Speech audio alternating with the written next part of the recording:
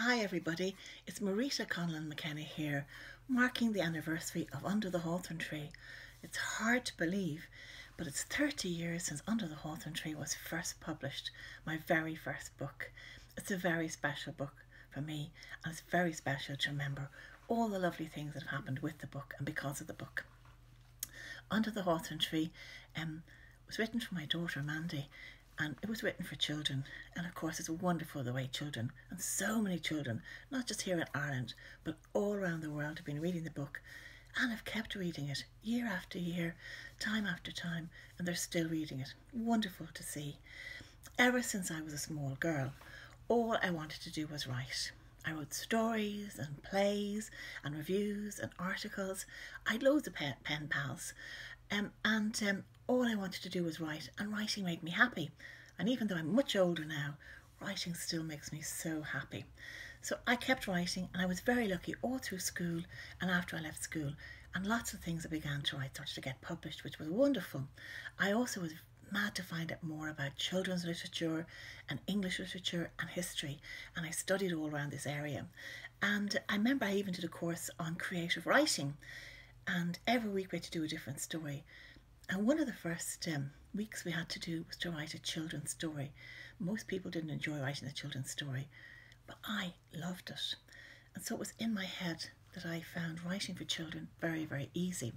And when I had my own children, I began to write for them. I began to make lovely picture books. I also love painting and drawing and art. Began to make these picture books for my children. And I kept going with them. So I was writing away busily. Um, history had always been very important to me. And I remember when I was in school, my class, we studied all kinds of history European history, world history, and um, the different big periods in history the Vikings coming, the Normans, um, the Tudor times. And you know something? We studied very little about the famine. It was passed over the Great Irish Famine very quickly, as if it was something we weren't meant to really think about or talk about. And I remember um, when I was in school, I loved learning about the famine, even though there was very little about it in our history book. And I kept trying to find out more. And I remember one of my teachers said to me one day about it, and I said to her, I'm when I grow up, I'm going to write a book about the Great Irish Famine. And I don't know if she ever believed me, but she did come to one of my book launches and said, You told me you were going to do that. But anyway, so history was always in my mind as well, and the Great Irish Famine. And what happened, I'd begun writing and making these books for my children. And one day, I wanted to make a book for my older daughter, Mandy. And what happened one day, I heard this teacher being interviewed about this school down the country were putting in a football pitch and they were clearing the field, which was a very boggy, soggy field, to make this beautiful new football pitch that would be drained and perfectly dry.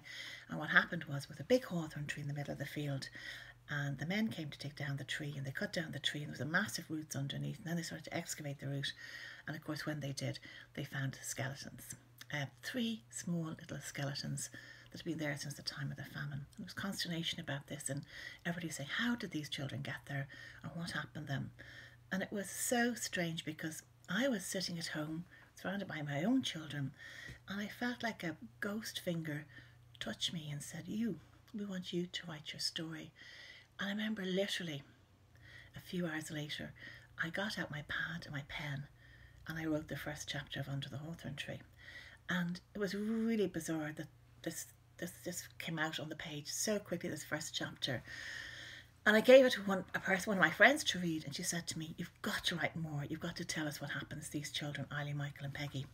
And so the book was written very, very, very quickly. It was actually written in 12 weeks, which now it's, I don't know if I could ever write a book in 12 weeks again, but I couldn't put it down. And it, even though my children were very small, um, I wrote at night when they were in sleep. I wrote when they were in school.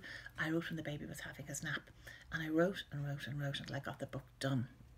And it's funny because I was doing a course in children's literature and I showed it to my lecturer and she read it and she loved it. And she said, Oh, you have to make this a proper book. And one of my friends, her daughter was a bit older, and she read it and she loved it. And she kept talking about this tree in the book, the hawthorn tree. And mum said, She keeps thinking it's a proper book. It's not just these sheets of paper you've given her to read. So lots of people said it to me. And then in the end, I said, You know, maybe I will send it to a publisher. So I decided to send it to an Irish publisher called O'Brien Press, who are still my publishers. They're wonderful. And um, I remember actually, I didn't even trust it to the post. I put it in a big envelope and drove over and pushed it in the, the, the letterbox of their office and waited and waited and waited. It was such a long wait. They sent me very quickly a letter to say, We have received your package, but that was all, and we're going to read it. And I waited and waited, and I was nearly giving up. And then finally, one day, I got a, a call to say, Would I come in and meet um, Michael O'Brien, who was the publisher? So I remember going in and really nervous, sick, sick to my tummy. I went in to meet him, and he said they'd read the book, they'd all read it, and the editors, and they loved the book, and they were going to publish it.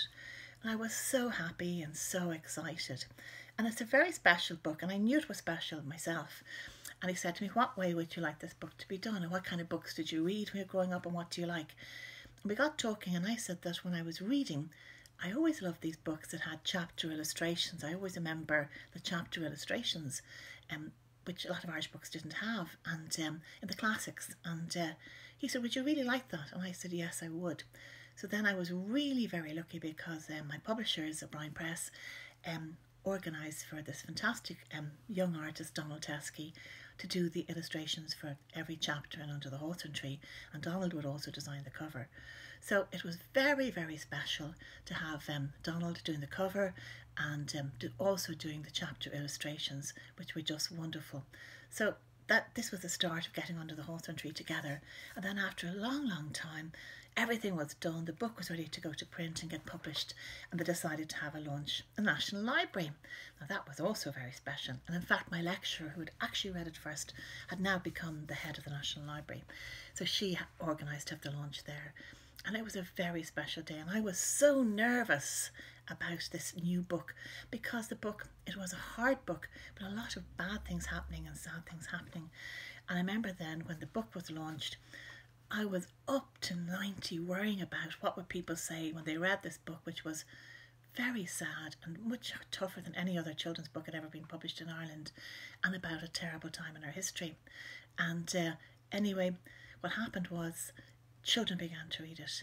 I'd written it for my child, my own daughter Mandy, and it was writ- read by children, and then more and more and more children began to read it.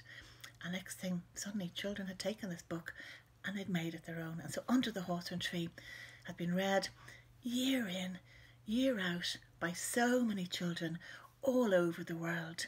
And it's been I've been going everywhere talking about it. I've been in America, I've been in Canada, I've been in China, I've been all over Europe. There's all been such wonderful events around Under the Hawthorn Tree. It's also won lots of book awards, which was very nice because I didn't expect that either. Um, to go around and have to collect these awards. It's just wonderful things have happened in the book. Also, there has been a stage play and uh, it, in Belfast and in Canada and around Ireland. Um, first was in Canada, a musical, and now the last while, a wonderful one in Ireland. There was been um, a film of it with young filmmakers in Kilkenny did a film many, many years ago, and fingers crossed eventually there'll be another bigger film the book has always surprised me when I go into schools. I meet children who are dressed up as Eileen, Michael and Peggy. People tell me when their kids used to play games with their brothers and sisters in the back garden or their neighbours and, and play the famine game and all dress up and pretend they were in the famine and trying to find food and fight off the dogs and bleed a cow and all the things the children do in the book also um, it's been used in schools, not just in Ireland and in England, but also in New York, in Mexico. It's been on the curriculum in lots of places too, which is very special. I, I never expected my little book that I'd written for my daughter Mandy, so many people to read it and so many people to love it.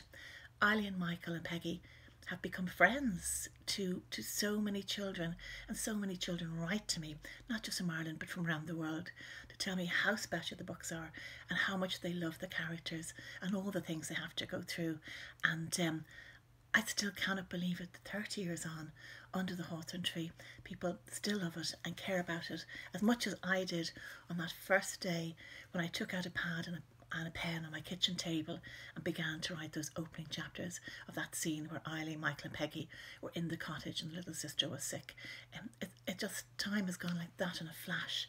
And the book is still continuing, and hopefully it will still continue more, and that more people will get to read it, and more people will learn to find out about what happened in Ireland's Great Famine and how the courage that people like Eileen, Michael, and Peggy, and lots of families around Ireland had to fight and to survive and to grab all the opportunity that came in the future in the other books you can read what happens when Peggy goes to America and, and Michael gets his life together. It, it's just been a, a, wonderful journey for me as a writer and also um, in, to follow the journey that's in the books.